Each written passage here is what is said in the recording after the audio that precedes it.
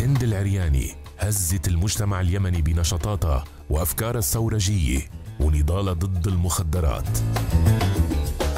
أنا أصلي من اليمن آه، انتقلت أنا وأهلي آه، لبيروت بحكم شغل والدي اللي كان يشتغل في السلك الدبلوماسي. بعد ما درست الماجستير آه، اشتغلت مع الأمم المتحدة. لما بدأت شغلي مع الأمم المتحدة كان كانت على بدايات الثورة. وكنت بحب يعني أتكلم أنا كنت متحمسة جدا للثورة فكنت حابة أتكلم في السياسة ولكن هذا كان ممنوع. طبعا اللي يشتغل مع الأمم المتحدة لازم يكون إنسان محايد. فهذا كان بالنسبة لي يعني شيء بيضايقني كثير لأنه كنت كل ما أحب أتكلم عن الثورة يعني لازم يكون تحت اسم مش اسمي.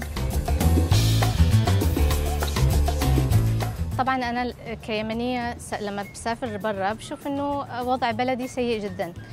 فكان عندي أمل إن هذه الثورة تغير في اليمن إنه توديها على مستقبل أفضل. فكنت جدا متحمسة وفي ناس كثير من عائلتي ضايقهم هذا الشيء. لما كنت أكتب على الفيسبوك كانوا يتصلوا فينا من اليمن يقولوا خلاص قولوا لها تهدى شوية تحرجنا مش عارفة إيش. فوقفت كلام على الفيسبوك وانتقلت على تويتر. فكان عندي أمل أن هذه الثورة تغير في اليمن توديها على مستقبل أفضل.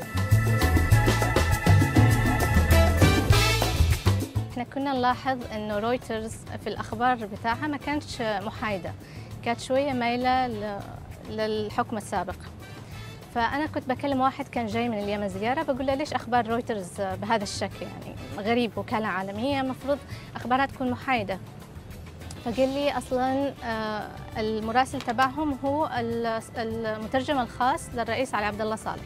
منذ أيام ورواد الإنترنت في اليمن يحتجون على تغطية الصحفي محمد صدام وهو أحد مراسلي وكالة رويترز الذي يعمل أيضا كمترجم للرئيس علي عبد الله صالح. إنه هذا يعتبر تضارب مصالح لأنه مستحيل يكون الصحفي مش حيكون محايد أكيد لأنه بيشتغل مع الحكومة بيأخذ مرتب من الحكومة.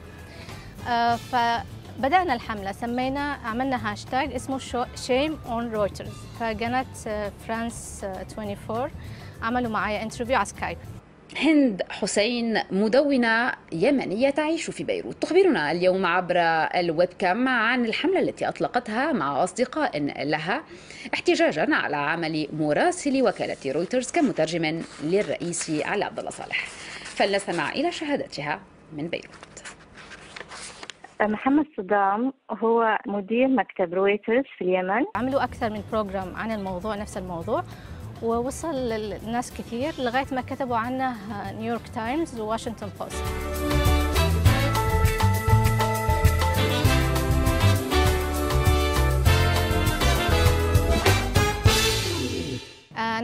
باليمن بموضوع محاربة القات. هو نبات مصنف كمخدر في معظم دول العالم مرتبة سي بيتعاطوه لمدة تسع ساعات بيصرفوا عليه بيوميا بمعدل 4 دولار. إحنا الآن نواجه مشكلة اقتصادية في اليمن ولو حسبتها حتلاقي إن كل فلوس المواطن اليمني بتروح على القات. يعني بيصرف باليوم الواحد 4 دولار مع إنه يعني دخل الفرد في اليمن قليل جدا. ومع ذلك بيفضل القات على الأشياء الأساسية. يعني ممكن يفضلها على أولاده ممكن يروح يشتري قات وأولادها عندهم نقص تغذية يعني بتصل لهذه الدرجة. وكمان في مشاكل اقتصادية على البلد بشكل عام. يعني أول شيء القات أغلب المزارع اللي في اليمن مزارع قات والمشكلة إن القات لا يصدر. يعني ما, في ما ينفعش إن إحنا نصدرها لبلد ثاني لأنه يعتبر مخدر. حاليا لما تقولي أنا من اليمن يسألوكي على طول انت بتاكلي قات يعني هذا كان شيء ضايقني جدا لأنه أنا كنت حابة إنه لما حد يذكر اليمن يذكر صنعاء القديمة المباني الحلوة في صنعاء يذكر جبال خضراء الإب يذكر حضرموت يذكر يعني يذكر الأشياء الحلوة اللي موجودة في بلادنا. بس إنه يرتبط اسم اليمن باسم مخدر. فأنا عملت هاشتاج No Qat Day حددت إنه 12 يناير لأنه كان قبلها ب 10 أيام قلت يكون زي رويترز وقت قصير عشان الناس ما يملوش يعني.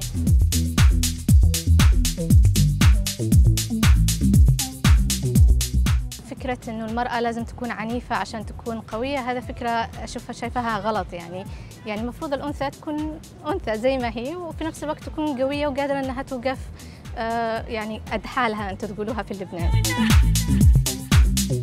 في ناس يعتقدوا إنه الواحد إذا خرج من بلده إنه مش حيقدر يساعد البلد وإنه اللي موجود في البلد هو بس اللي له الحق إنه يتكلم وإنه يدافع عن بلده أو يتكلم في قضية معينة. ولكن أنا حابة أغير هذا الموضوع. في كثير مغتربين نفسهم إنهم يحسنوا بلدهم. ويمكن على العكس إحنا اللي اللي برا بنشوف بنعمل مقارنة بين البلد اللي إحنا فيها مثلا وبين بلدنا ونتمنى بلدنا مثلا تتحسن في شيء معين فيكون حماسنا أكثر إنه إحنا نغير.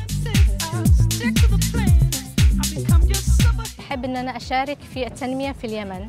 أحب أن أشوف بلدي تنمويا تتحسن خاصة إنه المواضيع التنموية ما فيش حد بيهتم فيها. يعني عادة بيهتموا بس في السياسة نغير رئيس نجيب رئيس. ولكن بعدين اللي بيطلع مش بيهتم بالتنمية برضه بيعمل نفس الخطأ.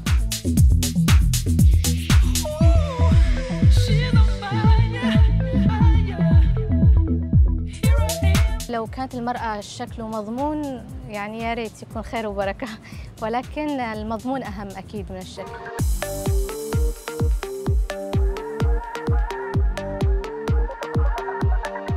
أنا طموحة أنا متمردة أنا حالمة أنا امرأة.